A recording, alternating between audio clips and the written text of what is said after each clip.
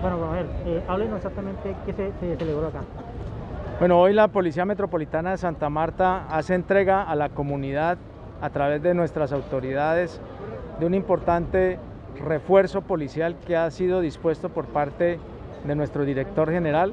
Hoy estamos presentando cerca de 50 policiales profesionales que han sido trasladados para reforzar los dispositivos de prevención, disuasión y control en la ciudad. Asimismo, hemos realizado el juramento de bandera de 60 auxiliares de policía, 30 hombres, 30 mujeres, que harán parte de procesos importantes de prevención, disuasión, control de delitos, de contravenciones.